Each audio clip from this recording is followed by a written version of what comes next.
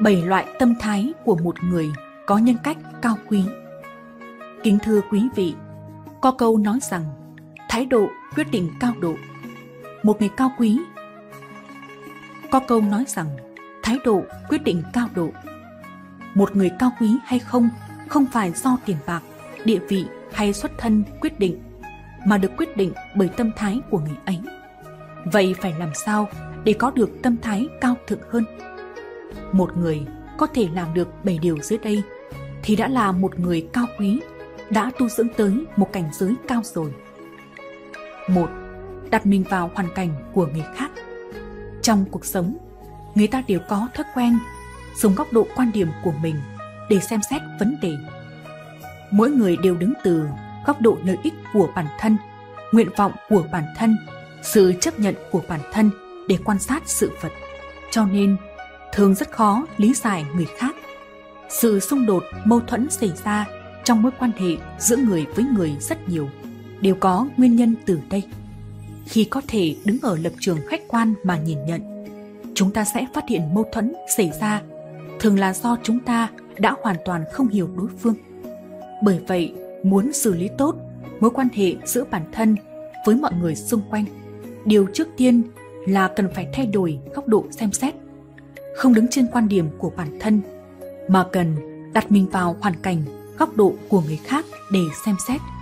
Như thế, chúng ta có thể liễu giải được ý nghĩ, nguyện vọng của người khác. Từ đó, chúng ta sẽ có nhiều phương pháp xử lý phù hợp hơn, hiệu quả hơn. Nếu một người nhất định không chịu thay đổi, không thể liễu giải được người khác, thì sẽ không thể có các mối quan hệ mới. Và các mối quan hệ cũ cũng không được tốt đẹp. 2. Điều mình không muốn thì không gây ra cho người. Nguyên tắc này là khuôn vàng thước ngọc trong xử thế, cũng là điều mà cổ nhân dạy. Ví như tai mình không muốn nghe lời cay nghiệt, thì đừng làm điều đó với người khác. Bản thân không muốn bị tổn thương, thì cũng đừng để người khác bị tổn thương.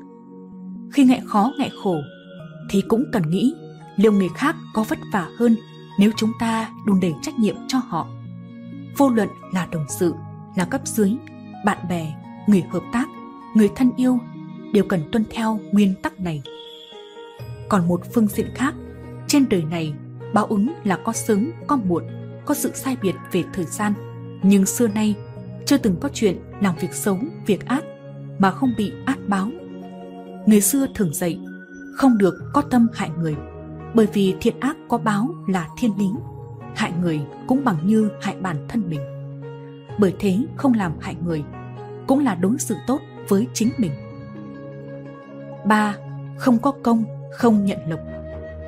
Không ít người hiện đại ngày nay thường đặt quyền lợi lợi ích mình nhận được lên trên sự phó xuất và công hiến của bản thân. Họ không ngần ngại thậm chí là bất chấp để đạt được mục đích này. Tuy nhiên từ xưa tới nay, người nào mà không có công vẫn nhận lộc, không làm mà vẫn hưởng, thì đều khiến cho người khác ghét bỏ, xa lánh. Người có nhân cách cao quý, luôn biết thứ gì của mình, thứ gì không, không vì vật chất mà đánh mất đi nhân cách của mình. Những người trong đầu luôn có suy nghĩ muốn được hưởng thụ mà không muốn bỏ công sức thì có thể nói là tâm linh thấp kém, không có tiền đồ. Người như vậy khiến cho người khác xem thường. Nói sao tới việc cao quý đây? 4. Lấy đức trả oán, nội tâm chỉ có lòng biết ơn. Khi người khác xúc phạm, làm thương tổn chúng ta thì không nên lấy oán báo oán. Như vậy sẽ khiến cho lương tâm của bản thân bị tổn thương. Nhân cách bản thân bị hạ thấp, oan oan tương báo sẽ không thể dứt được. Cần dùng thái độ chính trực để mà đối đãi với oán hận người có thể lấy đức để làm tiêu biến oán cảm hóa lòng người chính là người hiểu đạo lý rộng lượng và cao quý. Còn đối với người có ân với chúng ta thì dẫu nhận được một ân huệ nhỏ như giọt nước cũng phải báo đáp như một dòng suối.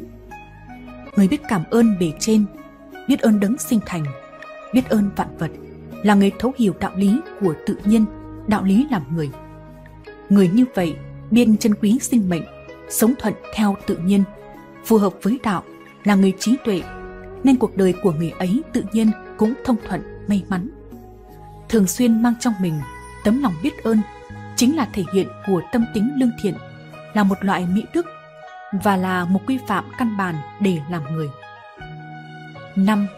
Tặng than cho người trong ngày đông giá rét. Khi người khác cần trợ giúp, chúng ta nên tận lực trợ giúp họ. Đây là tâm lương thiện, điều này rất tốt. Thế nhưng, cũng cần nhớ rằng tặng cho người khác một túi tiền không bằng khơi dậy thiện tâm của họ. Bởi vì thành tâm thiện niệm mới là bảo chứng căn bản nhất để một sinh mệnh có thể tiến về vị lai.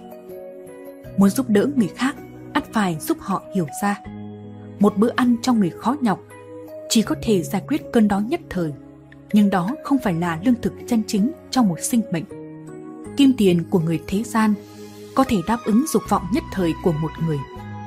Đó cũng không phải ánh sáng chân chính trong cuộc đời. Giàu nghèo đều như nhau, tai nạn có thể ập xuống bất cứ lúc nào. Mỗi người đều có một mặt Phật tính và thiện lương, lấy chân thành và thiện lương để thức tỉnh lương chi của một người mới có thể chân chính giúp đỡ người khác. 6. Thành tín với người khác Thành tín với người khác không chỉ tạo ra ấn tượng sâu sắc với họ, mà còn bồi đắp mỹ đức cho chính bản thân mình. Thành tín chất phác còn là nhu cầu của một tâm linh tốt đẹp. Thành tín không chỉ là một thái độ đối nhân xử thế, mà còn là một loại tính cách, không chỉ là phương tiện sống mà còn là mục đích sống. Một người có thể thành tín trong cuộc sống là bởi vì người ấy có trí tuệ, có nhân cách cao đẹp, hiểu thấu đạo lý làm người.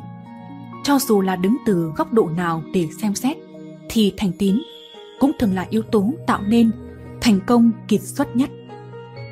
7. Khoan dung nhân từ Người xưa có câu Biển vì có thể dung nạp trăm nghìn con sông mà trở nên rộng lớn Vách núi nghìn trượng sừng sững vì không mang dục vọng mới có thể giữ mình cương trực Lòng bao dung là trí tuệ lớn của đời người Tục ngữ nói Vàng không thuần khiết, người không ai hoàn mỹ Khi đối mặt với sai lầm của người khác Nếu như canh cánh để ở trong lòng và đòi đáp trả thì sẽ chỉ khiến cho tâm linh của bản thân thêm nặng, thêm trầm trọng mà thôi. Thay vì để cho thù hận gặm nhấm tâm linh, chịu đựng thống khổ, chi bằng bao dung hết thầy, chẳng phải sẽ được thản nhiên và tự tại sao? Tất nhiên, bao dung không phải là bao che sai lầm của người khác, không phải là dung túng để người khác phạm sai lầm, mà là để tạo cơ hội tốt cho người khác sửa sai. Có những lúc bao dung đem lại kết quả tốt đẹp hơn gấp ngàn lần sự trừng phạt. Và đây cũng là lời khuyên răn, cách giáo dục